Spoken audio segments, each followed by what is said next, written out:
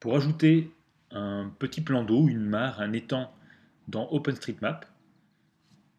Je passe euh, en étant connecté, je passe en modification, j'ajoute un polygone, une surface, je la dessine.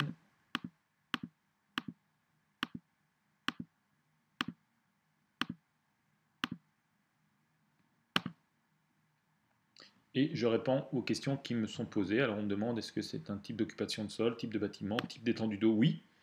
Un lac, un étang, un bassin de retenue de l'eau, sans pouvoir dire plus. Là, pour le coup, je sais que c'est une mare. Donc je clique. Après, il me demande éventuellement son nom. S'il avait un nom, on aurait pu le mettre ici. Moi, je pense que je peux mettre la mare du de. Intermittent, euh, non. Elle est constamment sous eau. Et euh, voilà. Il ne me reste plus qu'à valider et à en sauver pour envoyer mes modifications à tout le monde.